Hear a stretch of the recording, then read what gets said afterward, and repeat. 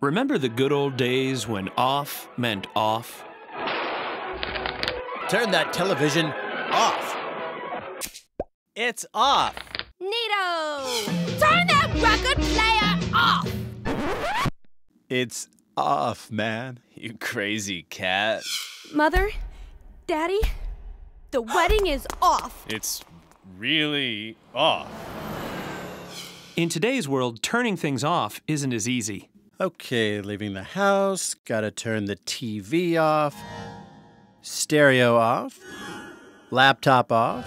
Got my phone. Just gotta turn the lights off. That's a vampire. Whoa! Vampires? Really? Energy vampires.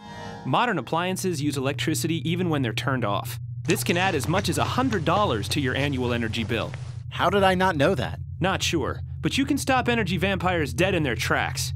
Use a power strip as a central turnoff point for all your appliances. Unplug your chargers when you're not using them, and look for Energy Star products that use less power in standby mode. Okay, vampires. Off means off. Good job. A message from the Illinois Environmental Council.